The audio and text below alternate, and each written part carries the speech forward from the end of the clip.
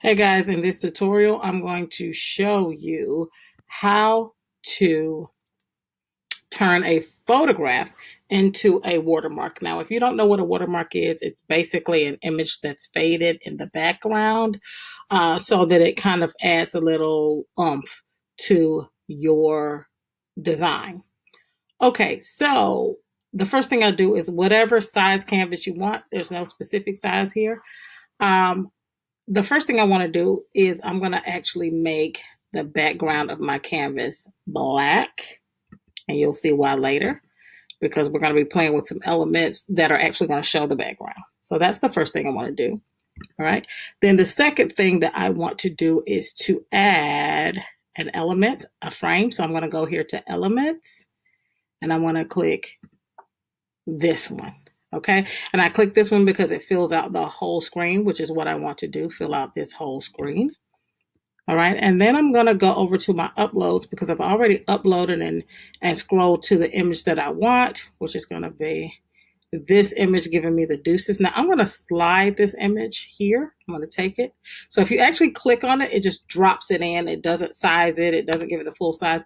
In this case, I'm going to drag it right here by the corner so that it can populate the entire screen. So let me show you that once more.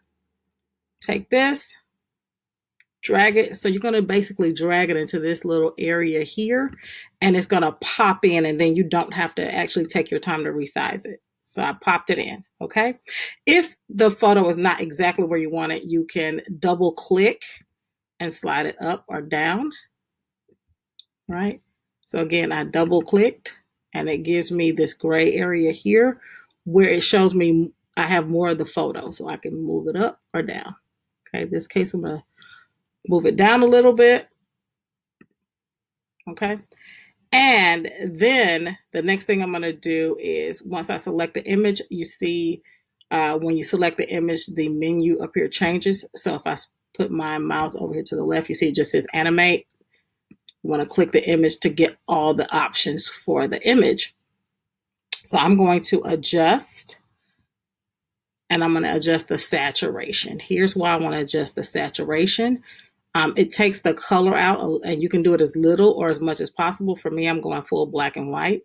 Um, the reason why I keep the saturation is because it keeps all the dimension and stuff like this in the background. Okay, that's what I recommend for you. However, I'm going to do something a little different because I, I know exactly what I'm looking for. And I'm actually going to go to the filters and I'm going to choose the street filter because I actually don't want that much definition. Um, I always take my photos where there's space out to the side so I can write text. So I know I'm going to write text on this photo. So I kind of want not as much detail over here so it won't interfere with the text. Okay. And so this is the first thing, the first step is to get it just so that you have this black and white or grayscale image. The next thing is when I select again, you see this little transparency, this little square to the right. I want to click that and I'm going to make it watermark. I'm going to take the transparency down. Okay. And this is how you start to create the watermark.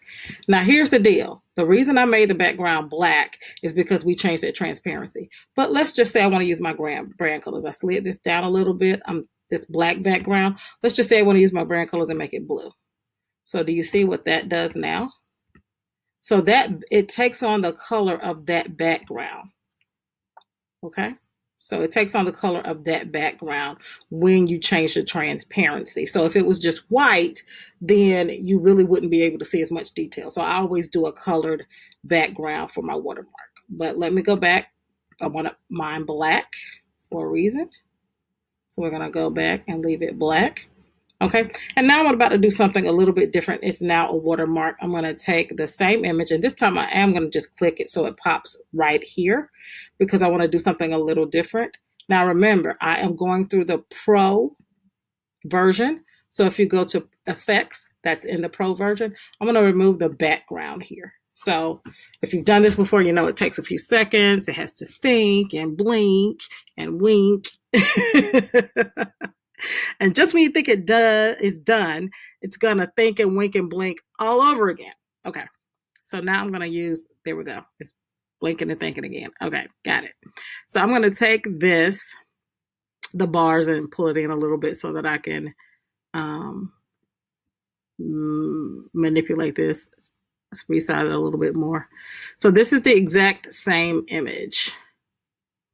Okay, but I didn't want all that background. And, uh-oh, hold on. Let me do this. It's acting funky with me. So I'm going to lock the background click and lock it. That way it doesn't think that I'm trying to replace the image. So I took that. And just so you know, um, okay, just so you know, the little lock button, click, and the little lock button is up here. You unlock it, lock it. Okay, so that way it can't move. okay, having trouble with some apps, check your internet connection and try again.